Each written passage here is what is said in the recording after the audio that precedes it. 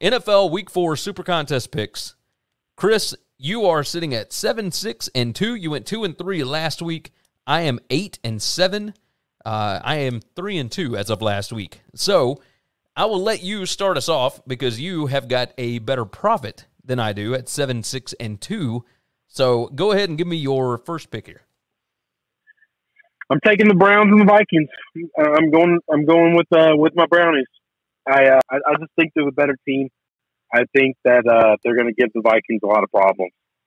I can uh, I can see that. I can see that. The first game up for me is Washington in Atlanta. Washington is a one point favorite. My line on this was actually Washington minus four. I know that Atlanta got a win against the Giants last week, but everybody's getting a win against the Giants. I think Washington can score enough to keep up with the Falcons. I also think that their defense is better than they looked against the Bills. So give me Washington minus the one on the road. What's uh what's game number two for you? I'm taking the Panthers. Okay. At the Cowboys. I, I just I just think they're playing really good football.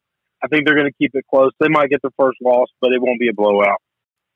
I can I can feel that. I can feel that. Uh, game number two for me, game we just talked about. Raiders plus three and a half at the Chargers.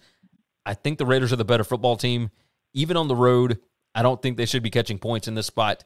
Chargers look good against a, a bad Chiefs defense last week, but Raiders defense is better. The Raiders offense playing really well right now. I kind of trust Derek Carr, which may get me into trouble, but I'm gonna take the Raiders plus three and a half. Uh, game number three for you. Uh, we're gonna go head to head on that game. I'll, I'll take the Chargers. Okay, okay. I can get down with it. All the same reasons that you gave earlier, right? Yep. I like it. All right. Chargers minus three and a half. Write it down. Uh, game four for me Colts plus two at the Dolphins. I think the demise of the Colts has been greatly exaggerated. No, they did not look great against the Titans last week. However, the Dolphins are, I think they had to pull a horseshoe out of their ass last week to be able to get that game to overtime. Uh, Jacoby played okay, but he wasn't great. I think the Colts are going to go down there. I think the Colts are going to win the game. So give me the Colts plus two at the Dolphins. I'll take the Eagles, and I'll take those nine points from the Chiefs. Once again, the Chiefs haven't covered but one game in the last twelve or thirteen, whatever the number is. Uh, Fourteen. I'm now. just gonna, I'm just gonna keep betting against them until they cover. That's that's not a bad strategy, my friend. Not a bad strategy at all. Last game for me, game number five. The New York Football Giants are going to New Orleans, and correct me if I'm wrong, but this is the first game for the Saints in their home stadium. So Saints minus seven and a half. I'm gonna take the Saints. Like I, have I've bet on them a lot this year. They have won for me quite a bit. Now I bet against them last week, but I'm hopping back on the Jameis train. He looked good against the Pats last week.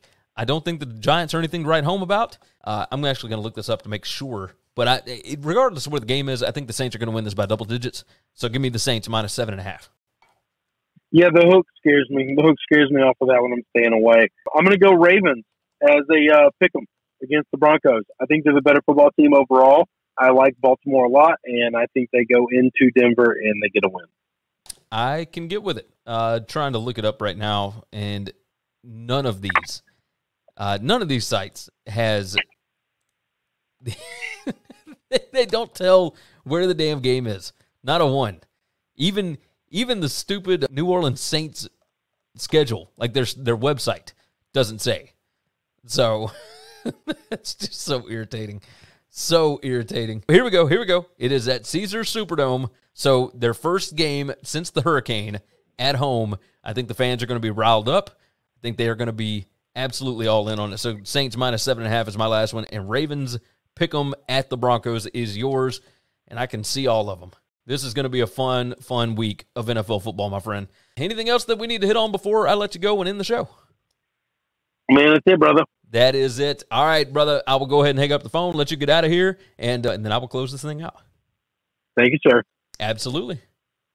All right, everybody. That is the end of the show. We appreciate you for hanging around. Of course, head over to winningcureseverything.com. You can find all of our picks that we just gave out in the picks section towards the end of the week. And of course, the contest, the Pick'em contest, seven college games, three NFL games. Go ahead and dive in, and you can win a $20 Amazon gift card.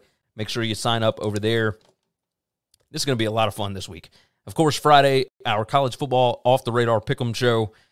Going to be a lot to discuss. Thanks for listening to the Winning Cures Everything podcast. The website is winningcureseverything.com, and if you want to connect with us, we're on Twitter at Gary WCE, at Chris B. Giannini, at Winning Cures, or you can email us, Gary at winningcureseverything.com or Chris at winningcureseverything.com. Subscribe everywhere you need to subscribe, and we'll see you soon.